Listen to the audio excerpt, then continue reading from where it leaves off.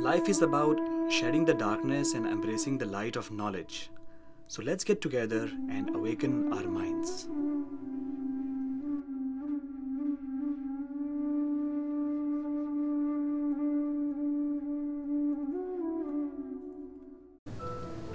Hello, friends. Thanks for joining me on the series of my videos uh, on awakening the mind. Uh, my name is Dr. Aakash Ahuja, and I'm a psychiatrist here in Los Angeles, California. I've done my medical school from Maulana Azad Medical College in New Delhi, India, and did my residency from in psychiatry from Minneapolis, uh, Minnesota, in United States. Um, the topic I'm going to discuss today is mood disorders the most talked about disorders in the world, uh, to be honest. I mean, if we watch any movie which has Bollywood or Hollywood or even Tollywood, uh, there are a lot of characters who are shown to have depression. There are so many articles in magazines and all that. Uh, and uh, we talk about depression in so many spheres of life that our boss has uh, depression or our wife or the children or the neighbors and or in fact we have depression but it still surprisingly is one of the least understood uh, problems and least diagnosed problem proportionately um, so I thought that we'll be doing this video to educate ourselves uh, more about this particular deadly illness uh, which is not affect which doesn't only affect the individuals but the whole community and the society so let's talk about uh, uh, the, the, series. I've prepared a slideshow. So we'll be discussing about uh, depression and mania. These are the two uh, big mood disorders. So let's talk a little bit about uh, the symptoms of uh, major depressive disorder. Well, the, the people who suffer from it, they feel sad, hopeless and helpless. whatever happens, they think that, that they have lost it they don't see the light at the end of the tunnel. They think that their life is kind of over and nothing is going to happen which can make them feel better about it. They have decreased energy, decreased concentration. They feel as if uh, uh, they have to make a, such a big effort to even get out of the bed. The things which are very normal and which they did all their lives. Now they just don't have the energy to do that it might be playing with the children, it might be watching a cricket game between India and Pakistan, which they always wanted to, but now they don't have the energy, don't have the concentration, and don't have the interest to do that. That's one of the classic symptoms of major depressive disorder.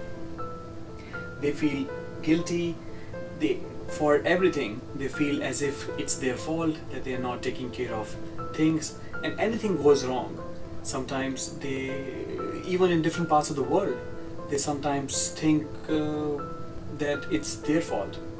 Their uh, sleep is uh, extremely poor. Sometimes they sleep more and sometimes they sleep very less.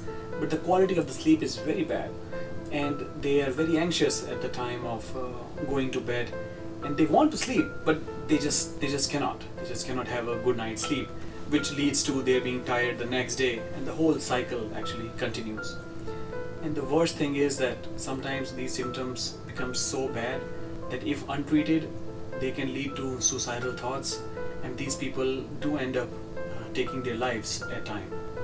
That's why it becomes extremely crucial to deal with it. Let's talk about now the totally different spectrum, which is the manic depressive disorder. If we our normal mood is here, then depression is here and mania is here. What that means is that in manic depressive disorder, people have racing thoughts. They might be having like million things in their mind on any given moment. They act very irrational.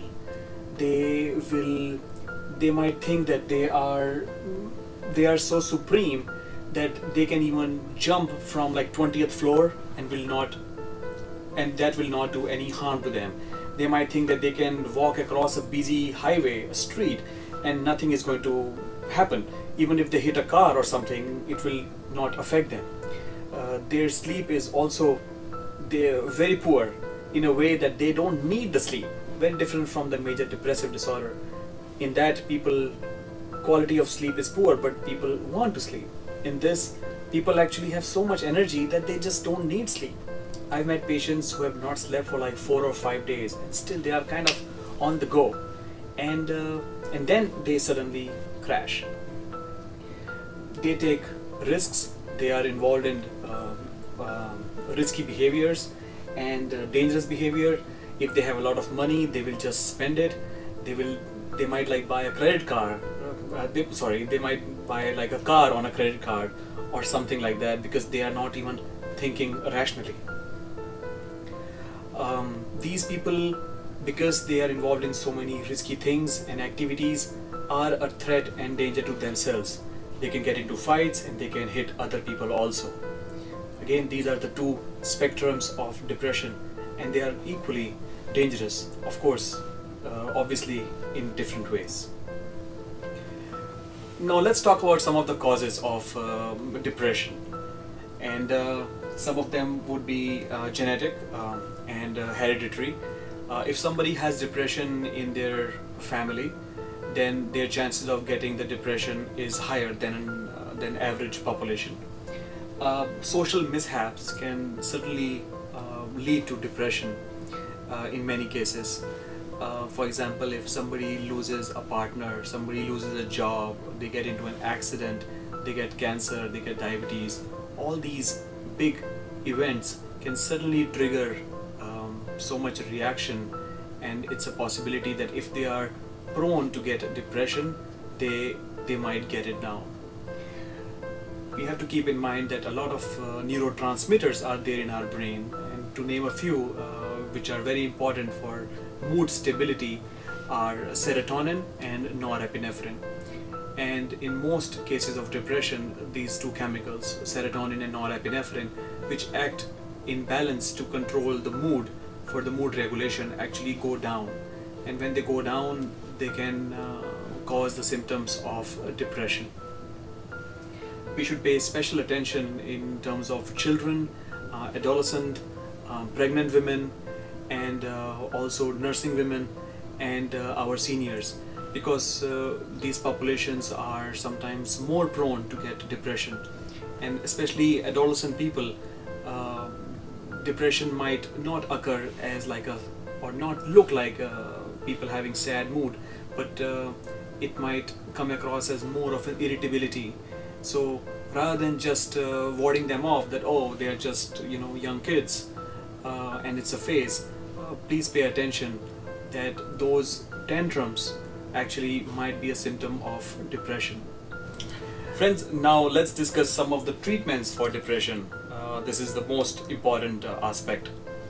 Well, a lot of research now has been showing that yoga, meditation, and actually exercising is very helpful in producing some chemicals in our body which can actually make us feel less anxious and depressed.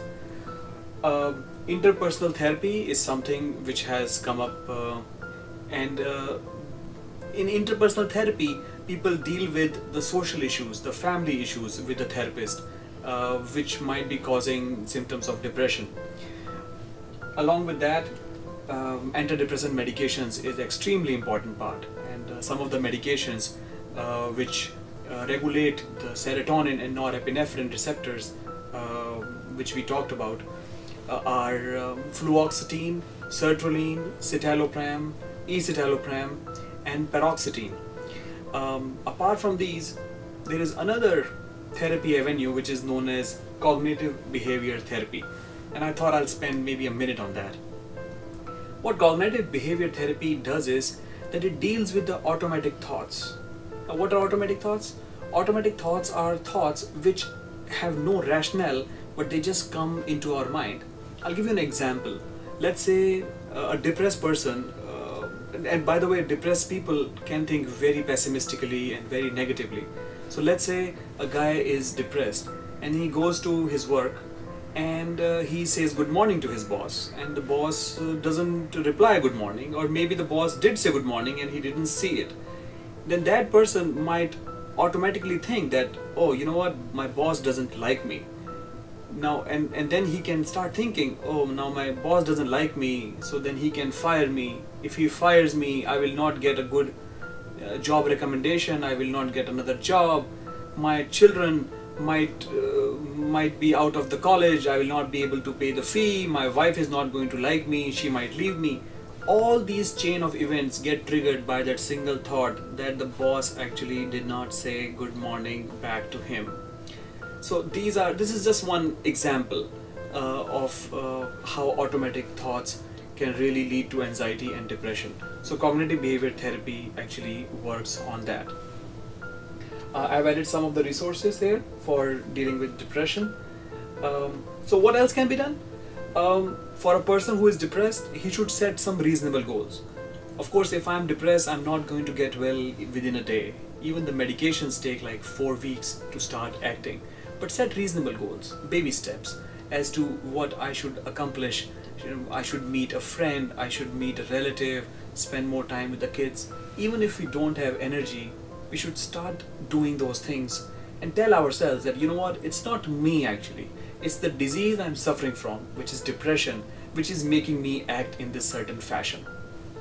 Uh, participate in family gatherings, even if you don't want to, don't wish to. If they're pleasant, please go there and watch a movie or sports or different things uh, which were fun for you before. Try to watch them again. What can family members do? Family members also share some responsibility if somebody in their family has depression. To start with, at least they they can uh, not make the statements like uh, "you are fine" or "just be tough" or "we are strong men," and uh, and at least help them to see that that they have depression, uh, be supportive towards them, encourage them to see a doctor, take the medications, and uh, and hence lead to their better lives. Friends, depression is very powerful, but we are more powerful than depression. Let's get some education about it. Let's at least acknowledge that it's a real disease which exists and which can really hamper the person and the community and the country and then we can deal with it. Thanks for watching this video.